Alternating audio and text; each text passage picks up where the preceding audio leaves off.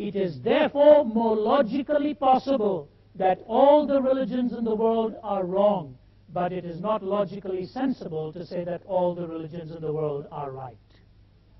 It just can't be. The pantheist affirms something very different to the theist. The theist affirms something very different to the atheist. And you go on and on and right down the line, and you find out that two contradictory, contradictory systems cannot really be true. Now, this is really the fundamental problem that I find as a Christian lecturer and a philosopher dealing with the Islamic worldview.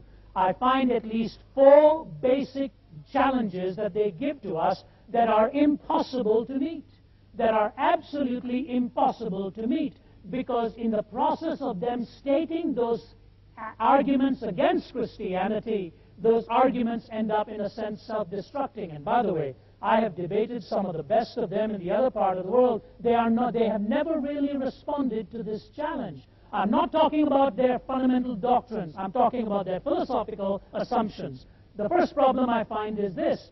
You see, if their prophet is espoused by them, which he is, as being a prophet to the world, he is espoused by them as being a prophet to the world, not just to Arabia or to the Middle East. He is the last and the final prophet to the world, and he, they say, performed no miracles because there was no need for it.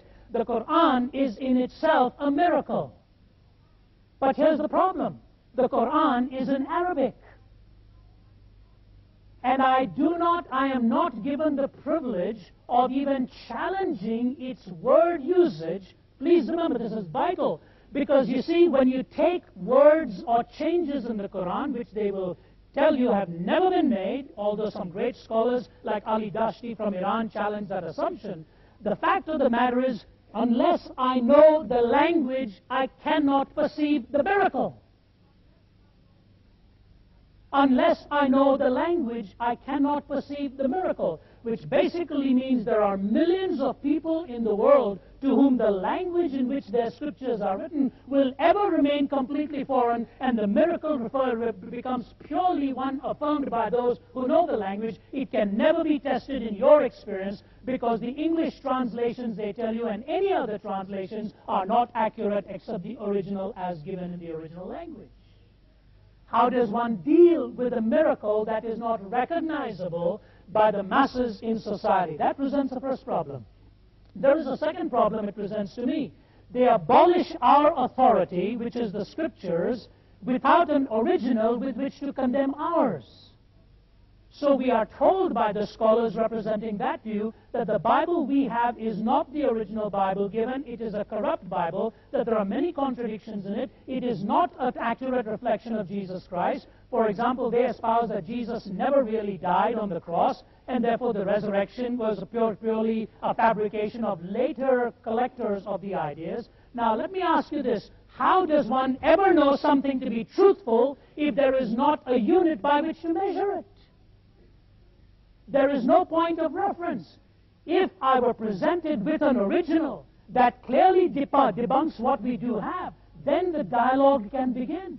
But if I'm told what I have is error prone and wrong on the basis of something they have never shown to me, how does one begin to dialogue? Do you see the problem?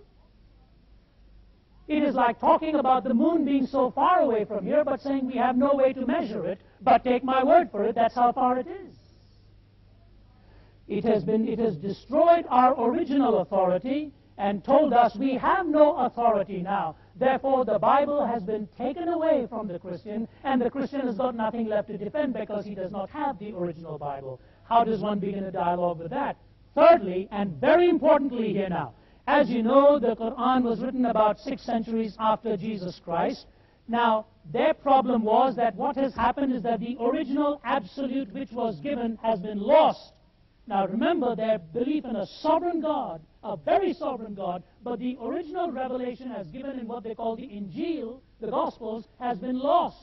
Now 600 years later comes the latest and the greatest and the final revelation, which means B succeeds A 600 years later, and B overrules A because A is lost.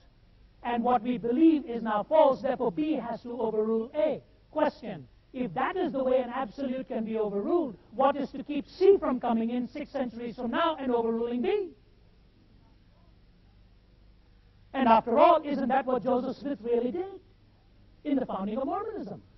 That's precisely what Joseph Smith did. He said all of the religions of the world coming centuries after Islam, for example, Mormonism said, all of the revelations have all become corrupt. Now he has come out with the last and the greatest and so on. So absolutes keep overruling absolutes without any point of reference for the previous absolute. It is philosophically unarguable. You cannot talk about it because there is no more possibility of discussing absolutes. That is number three. And number four, this is a sad one, but it is true. Many scholars of that school of thought reserve the right to impugn and debunk truths that we hold about our Lord. But you cannot do the same with the names that are precious to them.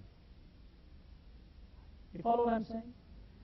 I can be told in the Quran that Jesus never died, which is what it is said out there. And I can have people look at me and say that he, this is a blasphemy. Jesus never claimed to be the Son of God, which is completely wrong. He does claim to be the Son of God. There, there are all kinds of concepts that are treasured truths. The very cross and the empty tomb are so precious to us, and the very person of Christ so precious to us. How does one dialogue with two people talking while A reserves the right to impugn what B is defending, but B is not given the same privilege of closely scrutinizing what A is defending? These points of tension make meaningful dialogue very, very difficult with all respect for the scholarship. That's all I want to say.